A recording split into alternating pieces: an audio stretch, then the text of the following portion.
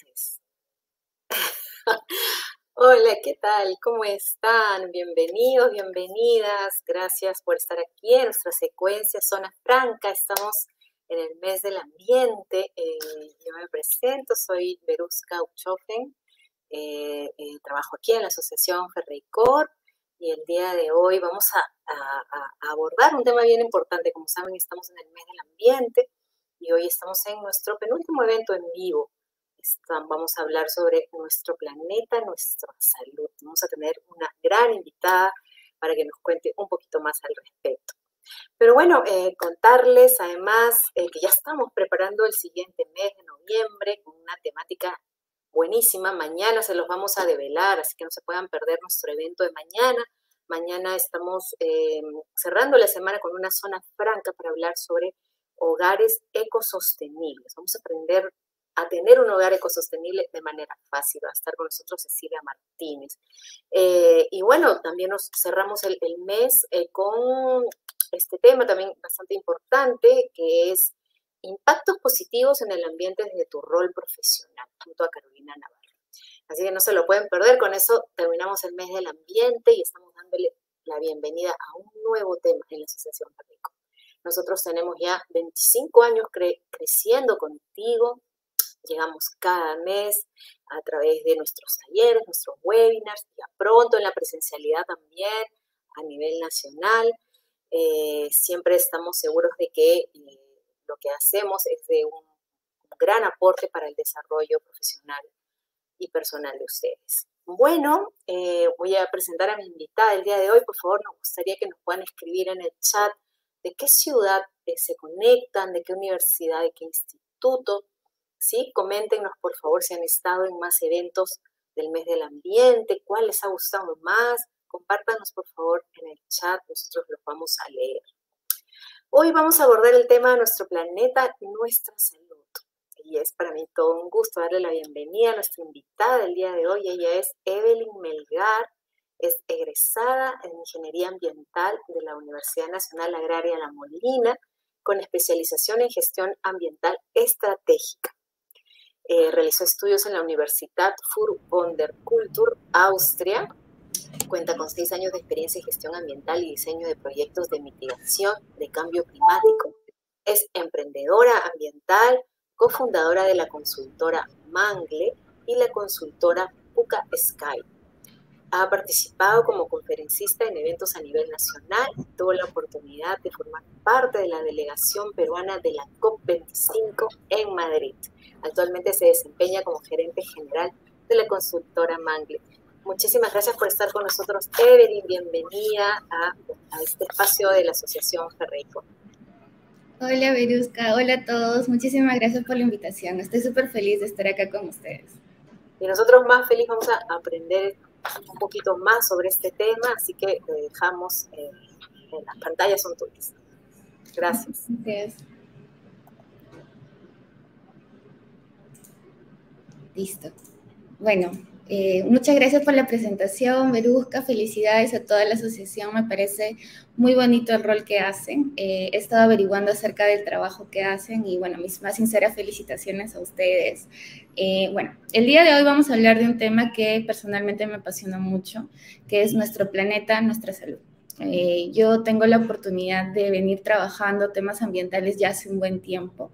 Estudié ingeniería ambiental en la Universidad Agraria de La Molina y cuando me, me, comentaron acerca de, cuando me invitaron a dar esta exposición, yo me preguntaba a mí misma y decía, wow, ¿qué, qué, qué tan interesante es dar un espacio para hablar acerca de cómo es que nuestro planeta se relaciona, nuestro planeta se puede relacionar con nuestra salud, ¿no?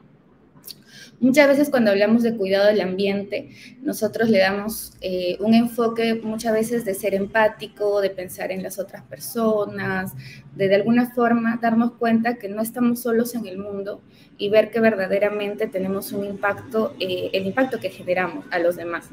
Sin embargo, también es interesante poder evaluar eh, que de alguna forma la relación que tenemos con el planeta es una relación mucho más cercana de lo que nosotros creemos. Nosotros todos los días utilizamos recursos, todos los días generamos impactos y por ende nuestra salud también está involucrada. Eh, muchas veces cuando nosotros nos preguntamos a, nosotros mismos o hablamos entre todos, creo que todos coincidimos con que cuidar nuestra salud es importante. Si alguien te pregunta, oye, ¿tú crees que cuidar tu salud es importante? Muchos dirán, sí, claro, creo que es importante, ¿no? Y si les preguntamos, ahí habrá un grupo, ¿no? Pero si les preguntamos si hacen algo para cuidar su salud, ahí el grupo se reduce un poco más. Y si preguntamos si además de cuidar su salud hacen algo por cuidar el planeta, es probable que el grupo sea un poco más pequeño, ¿no? Entonces, el objetivo de esta presentación el día de hoy básicamente es poder explicarles cómo es que nuestra salud está conectada con el planeta. Eh, desde un punto de vista de alguien que que ha, digamos, que ha trabajado este tema como, como, como lo hago yo. Llevo mucho tiempo hablando de esto con personas en diferentes ámbitos, diferentes sectores, eh, pero verdaderamente todos los que nosotros, lo que nosotros hacemos, todas, a todo nivel somos personas, ¿no? Más allá de los cargos que tengamos o los roles que desempeñemos en nuestras organizaciones, en nuestras empresas, somos personas y tenemos una necesidad primaria de mantener bien nuestra salud. Entonces, el día de hoy lo que yo les voy a hablar es cuál es la, relación entre la salud y el planeta. Eh, y bueno, les cuento que me gustaría empezar esta exposición con una pequeña historia, em, porque eh, en realidad, este, esta pregunta eh, para mí es un poco más profunda. Eh, ¿Por qué? Porque llegó un momento en el que cuando yo era más joven, cuando estaba en el colegio, yo no era muy consciente de la problemática ambiental. O sea, no era una persona que era, no, no, era de pronto, estaba en tercero de secundaria, siempre lo recuerdo que cuando me preguntaban qué vas a estudiar o a qué te vas a dedicar, la verdad yo estaba perdida cambiaba, de, cambiaba cada semana. Un día quería ser arquitecta, luego quería ser chef, pero nunca cocino. También quería ser decoradora de interiores. Después quería ser, eh, dedicarme a los negocios. Entonces, la verdad es de que no tenía eh, netamente una razón de ser o un propósito que me llevara a, a poder, digamos, elegir una carrera rápidamente, ¿no? Pero lo que les quiero contar hoy es cómo es que yo eh, decidí de alguna forma estudiar ingeniería ambiental. Eh, yo les comento que soy de Huancayo, eh, soy huancaína, nací, nací en Huancayo, pero luego me vine a vivir a Lima por la universidad. Pero cuando yo estaba en el colegio, yo vivía en Huancayo. Huancayo tiene tres distritos, uno que es Huancayo, El Tambo y creo que por acá está Chilca eh, Huancayo está el centro. Entonces yo vivía en el, como que en el centro de Huancayo, pero mi colegio estaba en el Tambo. Entonces yo para poder ir a mi colegio tenía que, yo iba caminando, en, la, mayor, la mayor de las veces siempre iba caminando a mi colegio, de ida y de vuelta. Entonces yo todos los días caminaba desde mi casa hasta el colegio, de colegio a mi casa. Entonces, cuando yo estaba en tercera de secundaria, yo estudié en ese colegio solamente desde secundaria, o sea, entonces más o menos estudié en el colegio unos tres años. Eh, iba de lunes a viernes, a veces iba sábados, pero principalmente de lunes a viernes, así que en promedio habré recorrido esta ruta de mi casa al colegio unas 1080 veces, digamos. Y había algo que yo tenía que hacer para llegar a mi colegio, que era pasar a través de un río obviamente es una ciudad, no, es que yo haya tenido que cruzar el río de una forma, no, o sea, era una ciudad, era un puente, hay una zona que se llama Bajada del Tambo, eh, y por abajo pasa un puente, ¿no? Y algo que, que yo me di cuenta, o sea, que cuando yo pasaba por ahí, en algún momento percibí que el río a veces venía de colores. Y es algo como que en el momento me llamaba la atención, ¿no? A veces el río estaba verde, a veces el río estaba rojo. Eh, y de todas formas el río tenía un aspecto feo, ¿no? No era que yo de pronto yo pasaba y decía, ah, voy a ver el río, qué bonito, no, o sea, el río verdaderamente tenía un aspecto que no, no era bonito, ¿no? Entonces, digamos que se convirtió parte de mi paisaje del día a día y como, como las cosas que vemos día a día a veces se vuelve parte del paisaje y uno empieza como a ignorarlos de alguna forma, ¿no? Como que se vuelve parte del paisaje y uno deja de, alguna forma de, cuestionarse, ¿no? Porque, porque no es natural tener un río que a veces viene verde, a veces viene rojo o que está, que está oliendo mal, ¿no? Eh, y bueno, ese río es el río Shulcas. Eh, está ubicado en Huancayo, es, es, un río que delimita, el que separa el distrito de Huancayo y el Tambo. Eh, es la subcuenca de la que es, que es parte que desemboca en el río Mantaro. Y además dentro de ella se encuentran las fuentes para el servicio de agua potable de Huancayo. Eh, ¿Y qué pasó? Les comento algo que, por ejemplo, yo era muy, yo en el colegio era muy pegada a mi hermana, era esa hermana menor que siempre está detrás de la hermana mayor eh, y en el, en el salón de mi hermana había un estudiante de intercambio, eh, que es un chico que vino desde Tailandia. Y recuerdo que cuando él vino, eh, llegó un momento en el que creo que tenían una clase de ciencia, tecnología y ambiente, que es el curso, me parece que ese es el curso que se, que se tiene del curso, de, más o menos ese es el curso, pero en general va cambiando, ¿no? Eh, y recuerdo, ni siquiera recuerdo su nombre, la verdad, no, no recuerdo bien, pero algo que me contó mi hermana, que fue, fue durante una clase, él como que cuestionó mucho que nosotros como que nosotros permitamos que el río esté tan contaminado, que es algo que, que, es increíble, ¿no? Que nosotros tengamos un río que esté tan contaminado y que pase tan cerca a nosotros, tan cerca a las ciudades, incluso lo dijo de una forma muy fuerte, ¿no? Y recuerdo que cuando mi hermana me contó eh, por mi mente pasaron varias cosas, ¿no? Eh, la primera era de cómo es que viene alguien de afuera y ve algo que normalmente, o sea, que digamos que nosotros ya lo habíamos normalizado, ¿no? Que ya era parte, digamos, de nuestro, de nuestro paisaje. Em, y ahí después pensé nuevamente, he recorrido este camino unas 1080 veces, creo, y en ningún momento me, me detuve a mí misma y pensé, oye, ¿por qué el río está así, no? ¿O qué puedo hacer yo al respecto? Entonces, luego ya averiguando, entendí un poco mejor cuál era la problemática del río. Es que en Huancayo habían unas fábricas que producían, había unas fábricas textiles que cuando tenían efluentes o usaban tintes, estos iban directamente al río, por eso es que el río venía de colores.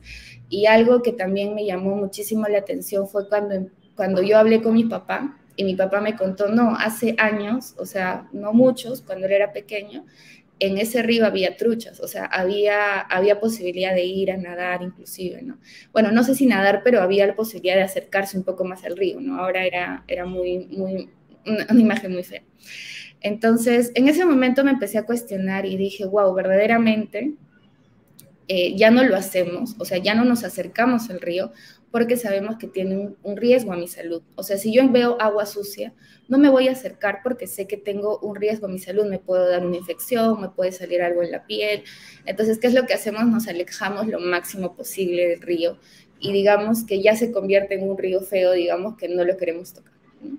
Entonces, para mí ese fue como un momento muy importante porque fue algo muy puntual pero que a la vez me ayudó a encontrar un propósito, ¿no? A poder entender que verdaderamente hay muchas cosas que solucionar y no las vamos a solucionar si simplemente nos alejamos del problema, sino, sino más bien haciéndonos parte y pudiendo aprender más para, para poder solucionar, ¿no? Entonces, quizás cuando nosotros hablamos de contaminación del agua, a la mente nos vienen imágenes de la basura que a veces llega al agua. Eh, lamentablemente hay personas que cuando van a la playa dejan todo sucio y finalmente todo se va al mar. Pero existen otras formas de contaminación que son también muy preocupantes, ¿no? Por ejemplo, las descargas de aguas hervidas. Hay, hay ciudades, hay lugares en Lima inclusive donde los efluentes llegan directamente al río. Eh, también las fábricas desechan químicos que finalmente llegan al río. Eh, la agricultura, ¿no? Nosotros cuando utilizamos, eh, por ejemplo, si vamos a sembrar, nosotros utilizamos algunos, algunos componentes para que, el agua, para que la tierra sea más fértil, para evitar que vengan plagas. Y una vez que nosotros regamos, esa agua que queda del riego lleva consigo esos materiales que finalmente llegan a los ríos eh, y también el aumento de sustancias químicas, orgánicas, sintéticas y lo que conocemos como lluvia ácida. Entonces, verdaderamente existe todo toda una serie de motivos por los cuales uno podría encontrar un río contaminado y no necesariamente va a ser la más visible, ¿no? O sea, no necesariamente vamos a tener la oportunidad de ver un río y entender que está contaminado, porque muchas veces la contaminación la vemos si es que vemos residuos, si es que vemos que en, sus orillas, en sus orillas hay basura, o por ejemplo, si es que, como en mi caso, que yo veía el río literalmente de otro color, ¿no? Que era algo bastante eh, bastante impactante, ¿no? Entonces, la pregunta es si la contaminación del río afecta a mi salud. Y si lo ves como en un punto muy concreto, yo pasaba por ahí muchas veces, pero nunca me acercaba. Entonces, era un poco difícil para mí entender si es que verdaderamente esa contaminación del río podría afectarme a mí personalmente, ¿no? Porque tengo la posibilidad de, no, no tengo la necesidad de acercarme. Pero eh, aquí hay unos datos que me parece muy importante poder compartir con ustedes que a nivel mundial por lo menos 2 billones de personas usan agua contaminada con materia fecal. ¿Qué quiere decir? Que a nivel mundial eh, no es, para algunas personas no es una opción, ¿no? no es un tema de que pueden decidir acercarse o no al agua contaminada, sino más bien que el agua es su fuente de vida, es su fuente de recursos, desde donde obtienen su, su su alimentación, de donde tiene, y no siempre el agua cumple con la calidad que necesitaría. Entonces, a nivel mundial tenemos este, este dato de la, eh, de la World Health Organization en inglés. Y también una cosa que, me llamó mucho la atención es poder entender qué relación tiene que nosotros consumamos eh, agua contaminada. No podríamos creer de que, bueno, el consumo continuo claramente debe tener un impacto en nosotros, ¿no? Puede ser, por ejemplo, infecciones, entre otros, ¿no? Y del mismo modo, la World Health Organization dice que anualmente 829 mil personas mueren por enfermedades estomacales causadas por tomar agua contaminada. ¿Por qué? Porque no pueden lavarse las manos y no pueden asearse.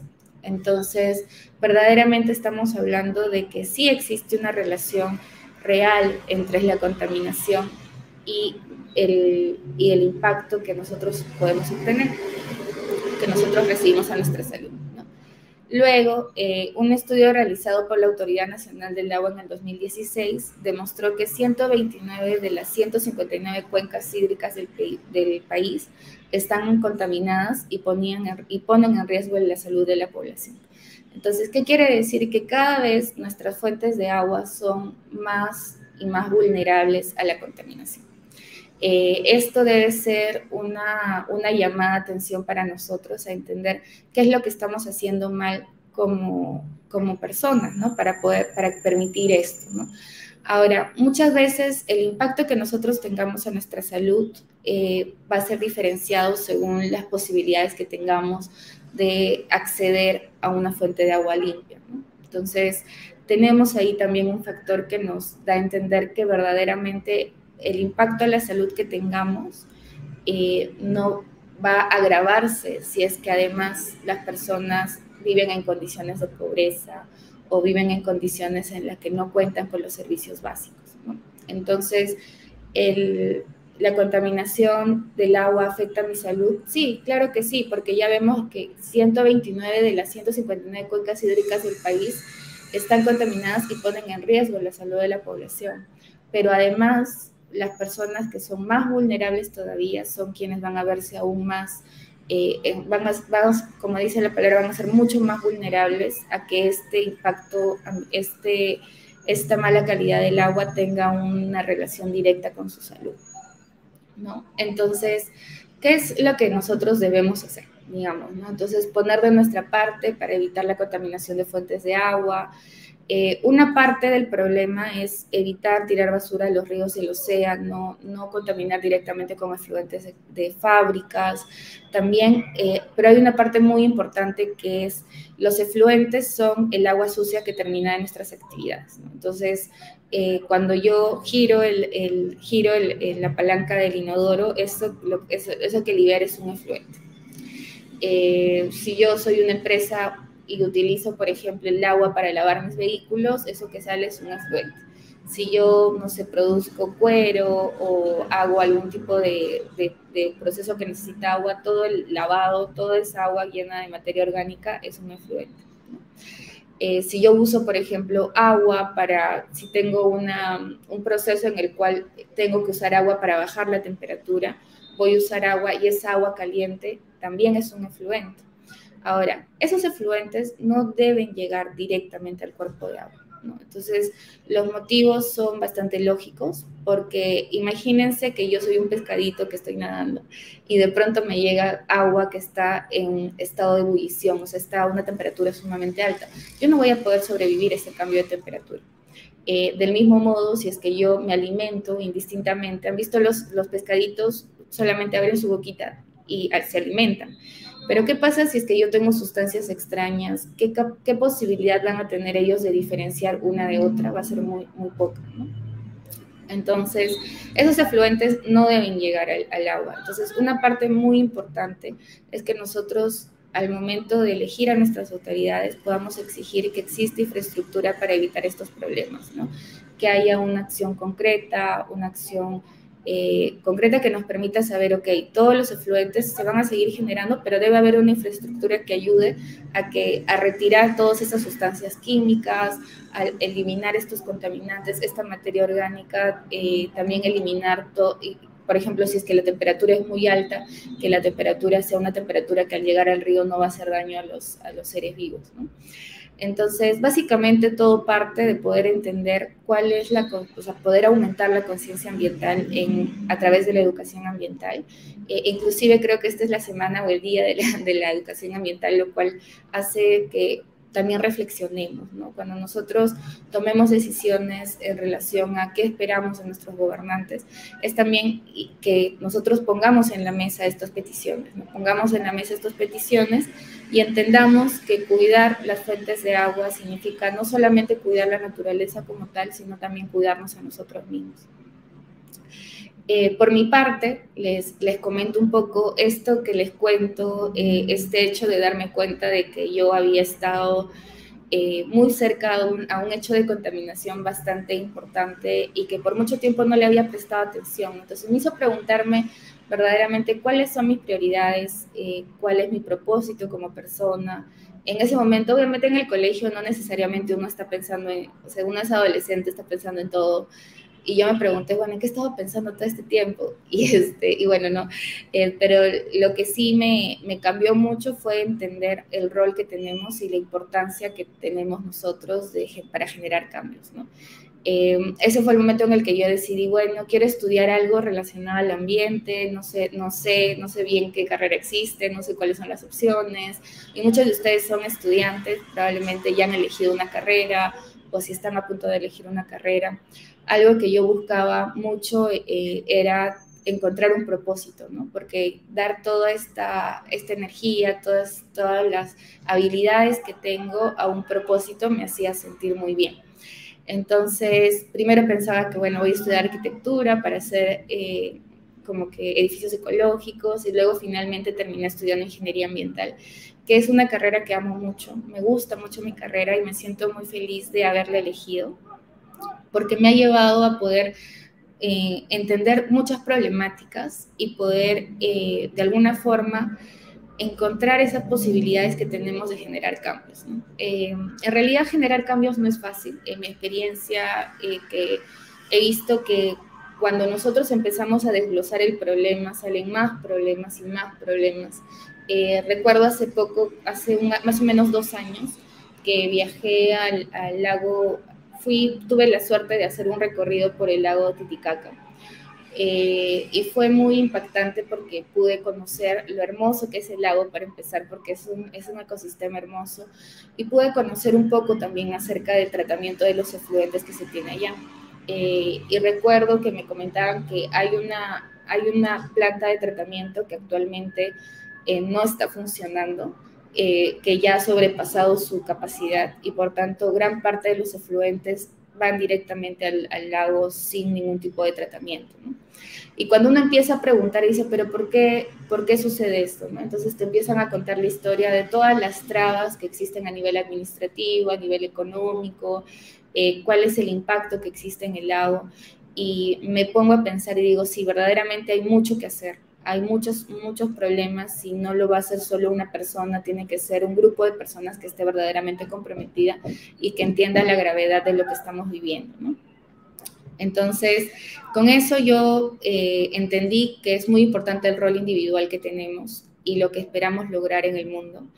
Y bueno, fue así que yo decidí estudiar ingeniería ambiental, ¿no? Tuve la oportunidad de, de formar una empresa y de hecho para mí el momento en que decidí fundar Mangle Discúlpenme un segundito. Creo que ahí. Ya. Discúlpenme, por favor. Un minutito nada más. Creo que están tocando la puerta.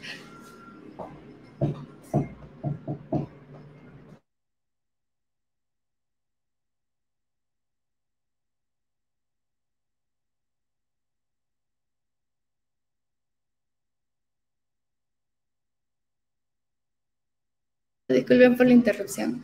Eh, bueno, pero como les decía, en este caso eh, yo entendí cuando, cuando decidí fundar Mangle, era que para cuidar el ambiente se requiere no necesariamente una transformación, bueno, se requiere una transformación total, pero también se requiere la suma de muchos actos individuales, decisiones individuales, esfuerzos individuales y compromiso de muchas personas. Entonces, eso para mí fue verdaderamente una motivación porque me ayudó a entender de que lo que yo quería hacer y mi, propósito era generar cambios reales y duraderos. Entonces, lo que nosotros hacemos con las empresas es poder motivarlas y también las organizaciones, todas organizaciones, a que entiendan cuál es su relación con el ambiente y que puedan identificar qué cambios podemos hacer de forma duradera, de forma, em, digamos, de forma real, de forma efectiva, para que verdaderamente podamos reducir nuestro impacto. Eh, luego, bueno, y la pregunta es, seguro se estarán preguntando qué pasó con el río Chulcas. Eh, y la verdad es de que a la fecha la contaminación del río Chulcas sigue siendo un problema ambiental en Huancayo. Existen proyectos de diferentes universidades que buscan la recuperación ecológica, ambiental y social. Y también, digamos, se ha vuelto un caso de estudio para diferentes, para fines científicos, ¿no? Porque verdaderamente es, un reto poder recuperar un río, ¿no? Es un ecosistema que ha sido dañado por mucho tiempo y actualmente todavía la contaminación del río Churca sigue siendo un problema ambiental, ¿no? Eh, otra cosa importante también es de que cuando venimos eh, de un proceso de elecciones recientemente, y la verdad es que en el marco de, los, de las conversaciones que hubo, los criterios, las entrevistas que se tenían a los candidatos, lo que yo pude ver es de que no necesariamente gira alrededor de, de cuidar los recursos hídricos, no es como un tema, un tema más y lo ideal sería que si nosotros lo ponemos en la mesa, se convierta también en una prioridad para nuestros, nuestros gobernantes. Ahora, eh, puede parecer un poco desesperanzador, pero algo que me parece muy bonito es que yo cada vez veo más iniciativas de limpiezas del río, hay estudiantes de diferentes áreas que van, que hacen limpiezas, que buscan cómo eh, mejorar la calidad del río desde sus posibilidades. No, podemos, probablemente como personas, no podemos eh, decir, oye, vamos a, vamos a construir una planta de tratamiento de, de efluentes, pero lo que sí podemos hacer es ir y limpiar el río, ¿no? Entonces me parece que ese tipo de iniciativas dicen mucho y hablan mucho de lo que yo les comentaba al inicio, ¿no? Mi, yo, cualquier persona que ve un río contaminado lo que prefiere es alejarse lo más posible de ese río, pero hay personas que verdaderamente son una motivación porque se ponen toda la protección que necesitan, pero aún así se acercan al río y limpiándolo, entendiendo que conlleva su, su contaminación, están haciendo mucho, ¿no? Eh, como les decía, la apatía es el mayor enemigo del medio ambiente y cuidar el ambiente de alguna forma es cuidarnos a, a nosotros mismos. Eh, y la idea, y bueno, y el mensaje que les quiero compartir ahora es básicamente de que donde estén, ustedes ya pueden generar un cambio. Eh, como les dije, nuestro impacto individual en el ambiente es real. Entonces, así como nosotros queremos generar cambios y esperamos cambios en otros niveles, tanto en nuestros gobernantes, en las empresas medianas, grandes, pequeñas, eh, es momento también que nos cuestionemos a nosotros mismos y digamos, ok, ¿cómo voy a encontrar esa forma de cuidarme a mí misma, eh, cuidar mi ambiente? cuidar el ambiente y también cuidarme a mí misma. Entonces hay muchas, hay muchas maneras, eh, alimentándome de forma más sana, evitarlos, por ejemplo, evitar los envases descartables, eh, también poder ver la forma de, de, caminar en vez de tomar carro, en vez de tomar un micro, tener una bicicleta. Eh, hay muchas formas en las que ustedes pueden generar mucho impacto a través de sus decisiones individuales, ¿no? Entonces, bueno, esa es mi presentación, espero que les haya gustado. Eh, ha sido muy bonito poder compartir mi, mi, experiencia con ustedes. Y de hecho, muchas gracias por la invitación y, nada más. Muchísimas gracias y estoy atenta a sus preguntas. Muchísimas gracias, Evelyn. Gracias por compartirnos estas reflexiones. Qué interesante la historia que nos has contado del río Chulcas. A mí, a mí me, me, llama mucho la atención. Quisiera que nos cuentes un poquito más sobre Mangle, Claro, muchas gracias, Verusca. Bueno, nosotros como Mangle lo que buscamos es asesorar a las organizaciones. Eh, nos llamamos Mangle con alusión al ecosistema del manglar. porque el ecosistema de manglar es un ecosistema que, que funciona en equilibrio y que brinda un, que de alguna forma contribuye positivamente a su alrededor. los manglares descontaminan el agua, capturan CO2 y lo que nosotros queremos de alguna forma es llevar esto a las empresas para que las empresas también contribuyan positivamente al ambiente, ¿no? que se conviertan en ecosistemas por así decirlo, que contribuyan al ambiente y que permitan, identifiquen cuáles son sus impactos y que hagan todo lo, posible para reducirlos, pero a la vez también contribuyan a solucionar la problemática de la que son parte. Entonces, eso es básicamente lo que nosotros hacemos. Lo que buscamos son justamente generar cambios reales y duraderos. Entonces, cuando nosotros presentamos una propuesta, lo que nosotros buscamos es, uno, que sea una propuesta viable, que sea medible, que sea eh, real, ¿no? ¿no? No, como una propuesta que de pronto es muy grande pero no va a poder ejecutarse, sino más bien una propuesta que tenga un impacto y que podamos justamente eh, generar cambios y motivar a otras personas que lo hagan, porque cuando uno, por ejemplo, ahorra o ahorra energía, em, también ahorra recursos. Entonces que vean que no solamente cuidar el ambiente no es solamente eh, un esfuerzo, sino también hay un beneficio para las empresas. Exacto, y esa, esa frase me gustó, ¿no? Cuidar el ambiente es cuidarme a mí misma también, o a mí misma. Y cuidarme a mí mismo es también cuidar el planeta, porque a veces eh, pensamos que son acciones externas, pero también haciendo acciones por mí, por mi salud, estoy contribuyendo a, por ejemplo, lo que tú decías, ir caminando en vez de usar el auto, me estoy cuidando a mí porque estoy haciendo ejercicios y también estoy cuidando el planeta.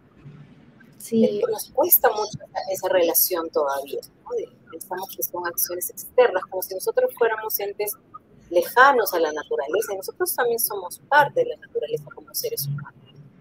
Claro, y sobre todo darnos cuenta que, que, estamos en contacto todo el tiempo, ¿no? Por más de que estemos en nuestras casas, que estemos en nuestras oficinas o en nuestras universidades, en realidad estamos en contacto todo el tiempo. Eh, hay mucho, mucha investigación en relación a la calidad del aire en Lima. Sabemos que Lima es una de las ciudades con peor calidad de aire a nivel de Latinoamérica. Entonces, todo el día estamos respirando, todos, todos los que estamos acá, si estamos en Lima, estamos respirando todos los días. Entonces, de alguna forma, sí tiene un impacto real en nuestro día a día y es importante que nos preguntemos qué se está haciendo para que el aire que yo respiro, el aire que respira mi familia, cada vez esté menos contaminado. Entonces, hay un compromiso, hay una necesidad. Y como les decía antes, ¿no? muchas veces hablamos que yo cuido mi salud por un tema de amor propio de pronto, pero cuando hablamos de cuidar el ambiente pensamos que estamos haciéndolo solo por los demás o como un fin altruista, pero verdaderamente también es una forma de amor propio porque estás pensando en vivir un ambiente mejor para ti y para las personas que quieres. Entonces, creo que es súper importante que identifiquemos maneras en las que podemos cuidar a nosotros mismos, cuidar el planeta, como por ejemplo usar una bicicleta, ir caminando a algún lugar en vez de tomar un carro, no pedir bolsas. Entonces hay muchos cambios que, genera, que actualmente están como que muy hablados, que se escucha, que se sabe que se están haciendo y creo que son muy importantes. O sea, esos cambios pequeños que podemos pensar, pero ¿qué va a afectar que yo tenga una bolsa frente a las bolsas que usa todo el mundo? Yo creo que sí, o sea, tiene mucho impacto, o sea, verdaderamente no hay que, no hay que desestimar el impacto que tenemos, eh, porque en verdad marca la diferencia, ¿no? o sea, marca un espacio para, para, para, dar un siguiente paso, incluso las personas que te rodean, ¿no? o sea, las personas que te rodean eh, van a entender eso, ¿no? Yo recuerdo que cuando estaba en la universidad, por ejemplo, nosotros tenemos un evento que es el Corso, que es súper, un súper evento, ¿no? Y cada facultad tiene su espacio, y recuerdo que la presidenta de mi federado dijo, hay que limpiar todo, ¿no? o sea, hay que limpiar todo antes de irnos, y todos los espacios, todos los otros espacios estaban súper sucios, y nosotros limpiamos, ¿no? Y recuerdo que nos tomamos una foto y publicamos, y generó mucho impacto, incluso ahora ya es obligatorio limpiar tu lugar, o sea, ya no es un tema opcional, sino que incluso es parte de las bases del concurso, o sea, que te tienes que ir y tienes que dejar tu espacio limpio, ¿no? Y recuerdo que esa vez, yo soy de la Facultad de Ciencias y no ganamos nada, perdimos la gincana, perdimos deportes, perdimos todo, pero al menos nos sentíamos bien porque nos habían reconocido por eso, ¿no? Dijimos, ya, bueno, al menos los, más limpios. y qué importante, ¿no? Porque... Eh, Tú nos mencionabas algunas estadísticas en relación a la salud física, pero también hay impactos en la, en la salud mental, ¿no? Esto de, por ejemplo, ver el espacio limpio, pues genera un impacto en la mente también a, encontrarte en un espacio sucio, desordenado, con mal olor. También va generando impactos en, la salud mental, ¿no? No, la salud Claro, o sea, creo que es, es, es, está sumamente ligado, o sea, cuando hablamos de salud mental es qué es lo que percibimos, o sea, diariamente, ¿no? Entonces, eh, imagínense que yo, no sé, pues yo tenía una casa junto al río, poner, poner un ejemplo, y poco a poco cada vez está más contaminada. Entonces, mi casa, que antes era un espacio que yo disfrutaba, poco a poco se va convirtiendo en un espacio que no me gusta, un espacio sucio, eh, un espacio que por, por, ahí ya no voy a tener tanta, tanta alegría de estar ahí, ¿no? Entonces, definitivamente hay un impacto en nosotros mismos, ¿no? En salir y ver una ciudad totalmente contaminada, llegar a nuestros espacios, o sea, no creo que la motivación verdaderamente pueda ser la misma, eh, porque ya estamos viviendo. Y también muy importante, algo que es que muchas veces este tipo de noticias, ¿no? O sea, hay personas que, que muchas veces dicen, bueno, como que escucho acerca del, cuidado del ambiente y escucho tantas noticias malas que llega un punto en el que también puede afectar mi salud mental. Puede ser que me genere un tipo de ansiedad, me genera preocupación y finalmente eso me, me va a llevar a estar en una mala, en una mala condición emocional entonces, es muy difícil a veces para las personas que hablamos de cuidar el ambiente, cuando queremos decir, miren, este, va a pasar esto y lo otro y lo otro, y si no hacemos esto va a pasar esto, lo otro, lo otro, no caer también en, que por de pronto hay personas que son mucho más sensibles a las noticias malas, eh, que de pronto puedan sentirse vulneradas o sentir algún tipo de, de malestar, ¿no? Entonces, algo que les puedo decir es de que también hay noticias buenas, eh, también hay personas que están haciendo cosas muy bonitas, como las personas que van y que limpian el río, como las nuevas empresas que están saliendo donde ya no consideran ningún tipo de plástico, por ejemplo. Hay experiencias muy bonitas eh, que nos, nos, dan más esperanza. Entonces, si bien es cierto, hay mucho por hacer, eh, si es que por ahí tú eres una de esas personas que siente que las ideas malas pueden ser muy abrumadoras para ti, probablemente identifica espacios donde puedas sentir más noticias positivas y puedas ver que verdaderamente sí estamos ante que las noticias malas nos motivan a la acción, pero que no nos inhabiliten, digamos, ¿no? que nos permita decir, bueno, es, he visto que está todo esto mal, pero bueno, por ahora me voy a enfocar en lo positivo, en las personas que están haciendo cosas, en esas personas que nos motivan a seguir avanzando. Entonces creo que encontrar un espacio así puede ser muy positivo para seguir, seguir actuando en pro de cuidar el ambiente y no descuidar nuestra, propia salud mental, digamos. Claro. ¿Y tú crees que es necesario una gran cantidad de inversión de dinero como para poder hacer realidad esto? ¿no? Ya no recuerdo qué países, creo que es Suecia, Noruega, el primer país que todo su transporte público es eléctrico, ¿no? Ya no más este, combustibles, entonces es el primer país en declararse libre de, esta, contaminación. Claro, uno dice, bueno, nosotros, ¿cuándo llegaremos a esto? súper difícil. Necesitaríamos mucho dinero, como que lo vemos lejano, ¿no? Ves, es necesario tener mucho dinero como para empezar a hacer cambios, cambios. A veces, eh, no sé, de repente comer saludable a veces es más caro eh, que comer chatarra, ¿no? Entonces, a veces uno piensa que está involucrado su, su bolsillo también, de hacer convertirse en una persona más ecológica, ecosostenible, lo que fuera, probablemente es más caro. Entonces, ¿cómo hacemos? ¿Tú crees que es, así? ¿Cómo, ¿Cómo hacemos?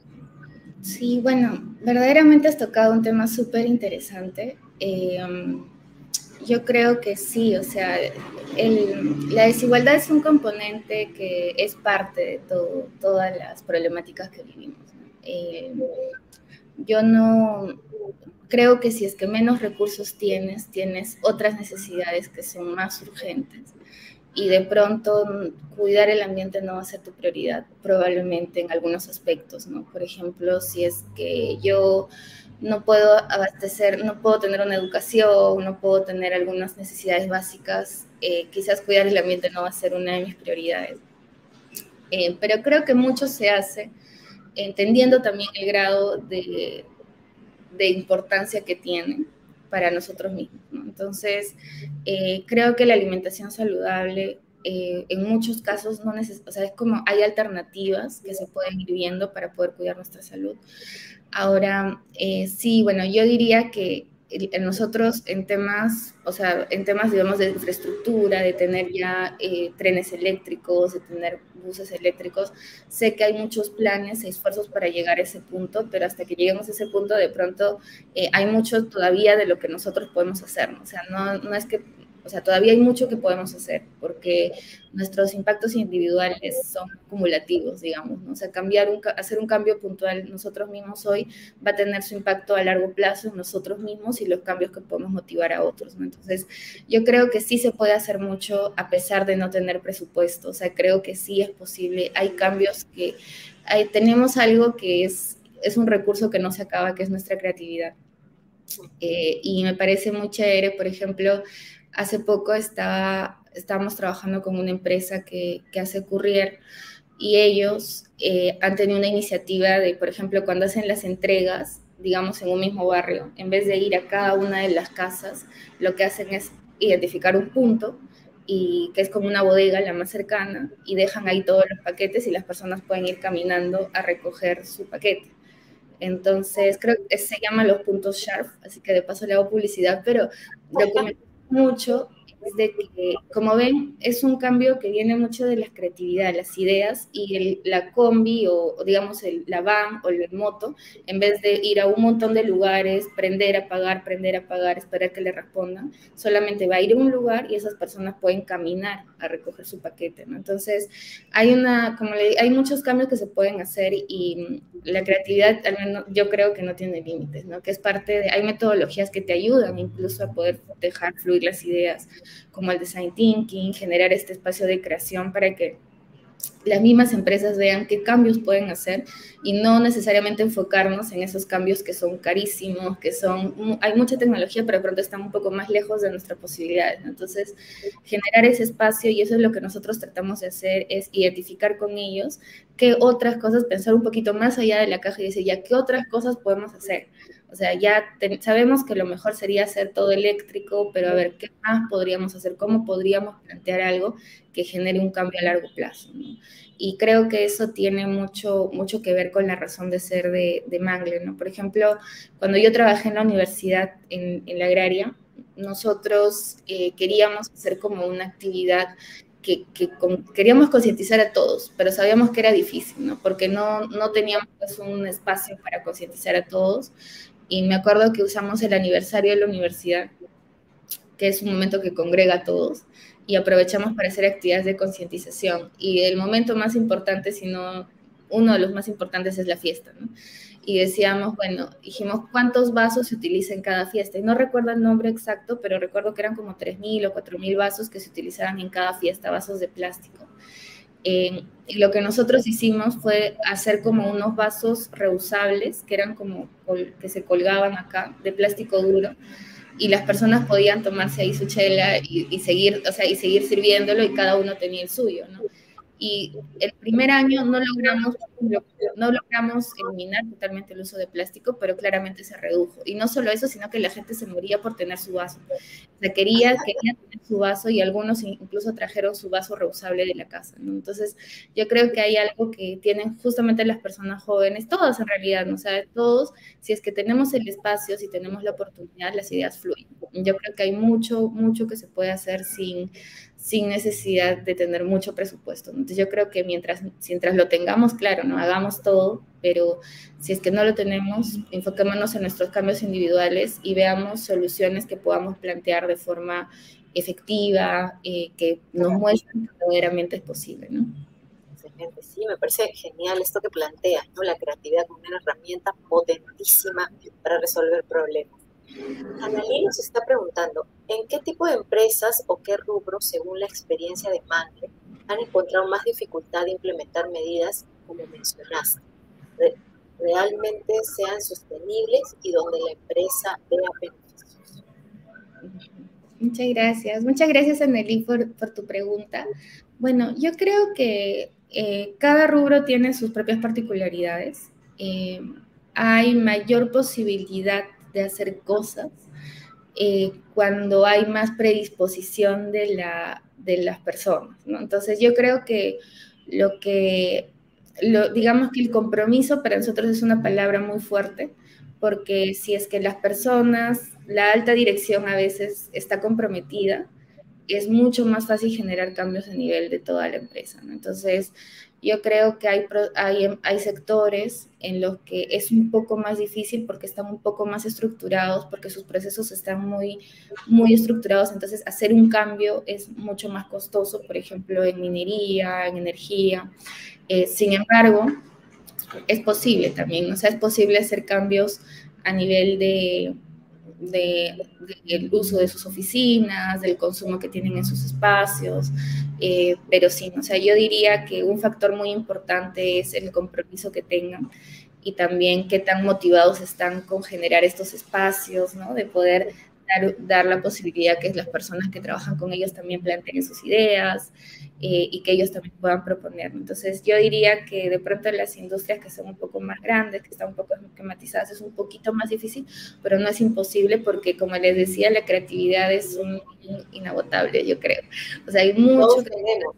Todos, tenemos creatividad lo que hay que hacer, lo que es nuestro rol es generar el espacio para que fluya la creatividad, digamos, para, que, para escuchar todas las ideas, porque una idea que puede parecer un poco, no sé, pues un poco al inicio, un poco loca, una vez que le vas pensando, le vas dando forma, puede convertirse en una idea con mucho impacto, Entonces, la idea es poder identificar ese tipo de propuestas y hacerlas, hacerlas posibles. Excelente, me, encanta esa idea, ¿no? Generar espacios donde pueda surgir la creatividad eh, para poder solucionar estos problemas. No sé si hay alguna otra pregunta, chicos, chicas de Puerto, Evelyn, que tenemos gente de Puerto Maldonado, también tenemos eh, gente, eh, ¿dónde más? Están acá desde Lima, de Están enviando saludos. No sé si tienen alguna otra pregunta para Evelyn. ¿Tienen alguna pregunta? Me, ha parecido eh, súper, súper interesante todo lo que nos has mostrado, Evelyn. Nos has hecho pensar, reflexionar un poco de cómo nuestra salud también se puede beneficiar si cuidamos nuestro planeta, si cuidamos el planeta Tierra, que es nuestro hogar, ¿no? donde vivimos. Entonces, eh, me gustaría pedirte unas palabras finales para acabar este, este webinar tan interesante. Eh, tenemos muchas ideas, en verdad, que nos has transmitido, principales mensajes, de la creatividad me ha encantado, generar espacios para la creatividad y para solucionar, para proponer eh, soluciones a problemas que tengan que ver con, con el ambiente, con el ambiente. Entonces, no sé si tienes algunas palabras finales para, para acabar este webinar bueno, eh, antes que nada, nuevamente muchas gracias por la invitación. Yo encantada de poder compartir aquí con ustedes. Eh, bueno, creo que como, como idea final me gustaría compartir de que verdaderamente sí existe una relación, o sea, no existe una relación entre nuestra salud y el ambiente, existe una relación muy directa. Eh, y no olvidemos que no todos estamos expuestos de la misma forma y del impacto que tenemos verdaderamente en las decisiones que tomamos. Eh, es muy importante que estos temas ambientales se pongan en la mesa, los discutamos eh, y tengamos, lo tengamos en mente al momento de elegir a nuestros, a nuestros representantes y que no tengamos y que no y que sepamos que verdaderamente nuestro impacto, por más pequeño que sea, es importante. O sea, por más pequeño que sea este cambio que yo quiero hacer, eh, verdaderamente es importante y tener en mente como que el, el espacio pequeño, o sea, de yo como persona, cómo me relaciono con el ambiente, hacer que esa relación sea positiva sea buena, sentirme bien con la relación que yo tengo con el ambiente. Y a la vez también ver el tema macro y ver que verdaderamente necesitamos tener estos temas como prioridad para que más personas puedan tener acceso a una salud, a que puedan tener acceso a una fuente de agua limpia, a un aire limpio. Entonces, que no sea un privilegio, sino más bien se convierta en beneficio para, para todas las personas, ¿no? porque eso es, eso es a lo que deberíamos apuntar. Y yo sé que es difícil, obviamente es difícil, y, como les decía, ¿no? una vez que tú ves el problema, aparece otro y aparece otro y aparece otro, y de pronto el problema parece irresolvible, o sea, ya piensas, bueno, ya no hay nada que hacer, pero eh, no tenemos mejor opción que seguir intentando, no es lo único que nos queda, ¿no? Seguir intentando y, espero que pronto ya podamos eh, poder tener la, esa sensación de que verdaderamente estoy aportando de forma positiva desde donde estoy y también ver que la salud también, o sea, cuidar el ambiente también habla mucho del amor que nos tenemos a nosotros mismos, ¿no? Porque es el aire que respiramos, es el agua que bebemos y es la empatía que tenemos con las personas que, con las que compartimos este planeta, Qué lindas palabras, cuidar el ambiente es cuidarnos a nosotros mismos también. Me gusta esta idea de ver el, el, ambiente en una relación, cuidar mi relación con el ambiente también, analizar, cuestionar, como si fuera una relación interpersonal también. usar la creatividad también para resolver problemas. Muchísimas gracias. Todo eso está al alcance, no necesita mayor economía. ¿no? Sí. Todo, ya lo tenemos aquí todos somos creativos, así que eh, está en nuestras manos un poco este, este tema. Muchísimas gracias, Evelyn, gracias por estar con nosotros, gracias a ustedes también por estar con nosotros en el ambiente. Eh, yo les comento que mañana tenemos nuestro webinar, una zona franca para hablar sobre hogares ecosostenibles. Aprende de manera fácil. Vamos a estar con Cecilia Martínez y la próxima semana estamos eh, teniendo eh, una entrevista con Carolina Navarro para hablar sobre impactos positivos en el ambiente desde tu rol profesional.